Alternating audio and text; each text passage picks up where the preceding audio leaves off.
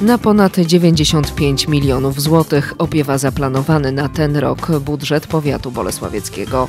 Z tego ponad 28 milionów, czyli 30% wszystkich wydatków, powiat zamierza przeznaczyć na inwestycje.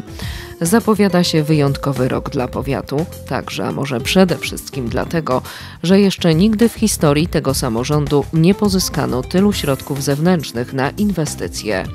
Także współpraca z gminami zapowiada się obiecująco. Oczywiście największym projektem e, pod względem wartości, który będzie realizowany już w 2017 roku, e, jest to przebudowa drogi na odcinku, drogi powiatowej na odcinku między Osiecznicą a granicą województwa dolnośląskiego i lubuskiego przez miejscowość Świętoszów z budową dwóch nowych mostów w ciągu tej drogi.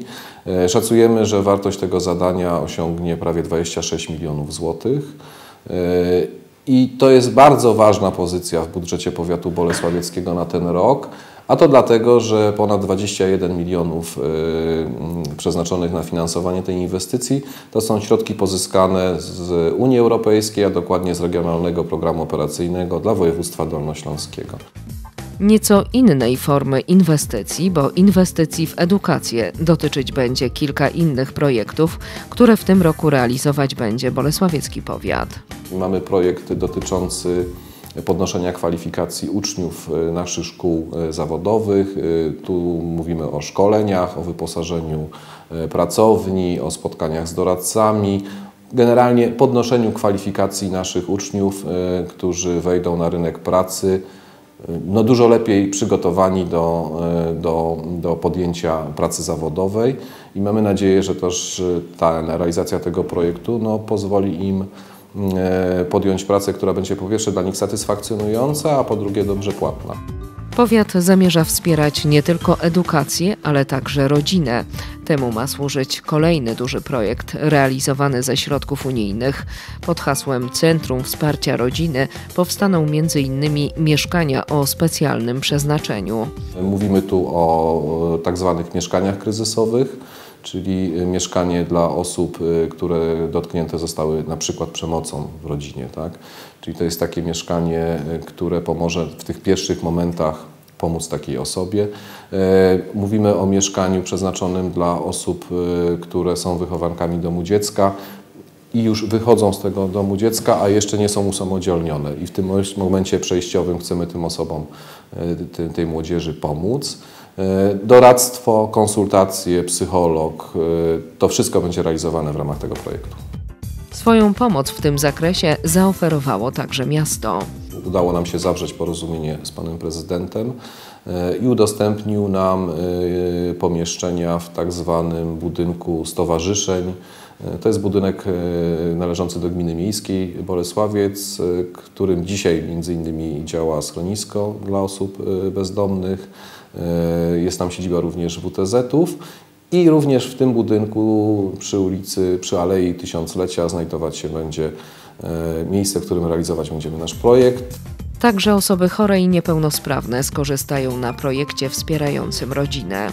W ramach tego projektu zakupimy sprzęt. To są wózki, materace przeciwodleżynowe, no wszystkie te rzeczy, które są dosyć drogie i w takich kryzysowych sytuacjach y, trudno dostępne dla mieszkańców naszego powiatu. Ten sprzęt zostanie zakupiony i będzie nieodpłatnie udostępniany osobom potrzebującym. Kolejny projekt ma poprawić jakość świadczonych usług i bezpieczeństwo pacjentów na szpitalnym oddziale ratunkowym. Szpital pozyskał fundusze unijne na zakup aparatury medycznej i infrastruktury niezbędnej do odbioru danych medycznych pacjenta transmitowanych ze środków transportu sanitarnego. Zostaną przeprowadzone też prace remontowe związane z założeniem klimatyzacji w pomieszczeniach SOR-u oraz montażem nowych automatycznych drzwi wejściowych. Największą bolączką z którą się zmagamy aktualnie, to jest e, wyposażenie naszego szpitala e, w nowoczesny, spełniający wymogi blok operacyjny. Jesteśmy w fazie weryfikacji dokumentacji projektowej na budowę tego, tego obiektu bloku operacyjnego i w tym roku chcielibyśmy również rozpocząć procedurę pozyskania środków zewnętrznych na realizację tego projektu. Myślę, że w połowie roku już będziemy na tyle przygotowani, że będziemy mogli złożyć wniosek na dofinansowanie tego zadania.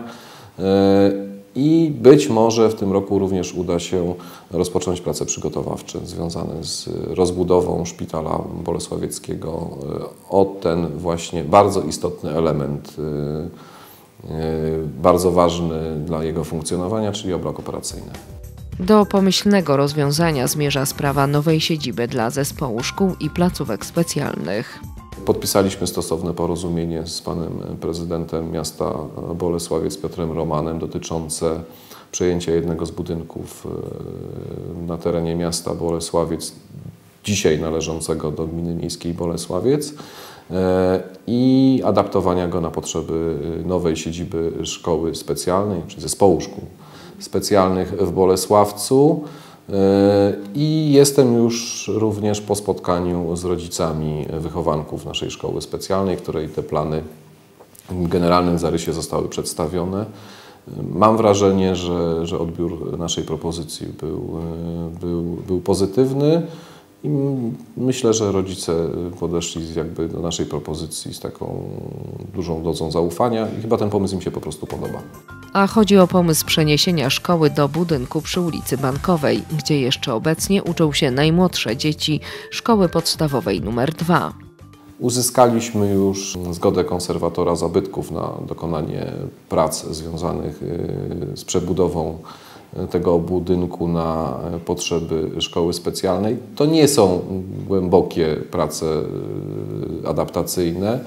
Y, no, tam kluczowym elementem tej, tej, tej adaptacji jest y, rozbudowa tego budynku o nową windę, tak, która jest jakby podstawą do tego do sprawnego przemieszczania się w ramach tego budynku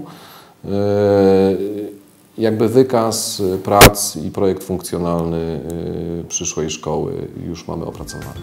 Nadal są szanse na przebudowę w tym roku drogi między Brzeźnikiem przez Ocice aż do Włodzic w powiecie lwóweckim. To zadanie jest ujęte w budżecie na 2017 rok. E, przewidujemy pozyskanie e, środków zewnętrznych, e, tym razem ze środków rządowych, z tak zwanej rezerwy ministerialnej. Stosowny wniosek jest przygotowywany to zadanie będzie realizowane w partnerstwie z powiatem wóweckim. Stosowne porozumienie zostało już opracowane. Mm, mamy nadzieję, że uda mi się pozyskać środki na jego realizację w całości. No ale jest to obarczone jakimś tam ryzykiem, no to jest jednak konkurs. Y, te środki są dosyć popularne wśród samorządów w całym kraju, więc podejrzewamy, że y, wniosków wpłynie mnóstwo. Co nie zmienia faktu, że w tym roku rozpoczniemy realizację tego zadania, czy przy pomocy środków rządowych, czy tylko przy, w oparciu o środki własne, y, zadanie będziemy realizować. Szanse na remont mają też bolesławieckie ulice Sądowa, Ogrodowa i Polna. To właśnie te trzy powiatowe ulice znajdą się w gminnym programie rewitalizacji przygotowanym przez miasto. Bolesławiec stara się pozyskać na rewitalizację fundusze unijne. Powiat przy okazji miałby szansę wyremontować te trzy ważne ulice. Mamy szansę wspólnie z miastem zrealizować projekt, w ramach którego te trzy ulice które są w złym stanie technicznym, a są jednymi z ulic o największym obciążeniu e, ruchem dzisiaj. Tak? Sądowa, Ogrodowa, e, Polna. E, mamy szansę, żeby je przebudować, wyremontować, no i pozyskać jeszcze środki zewnętrzne na ten cel, więc no, trudno byłoby z tej szansy nie skorzystać.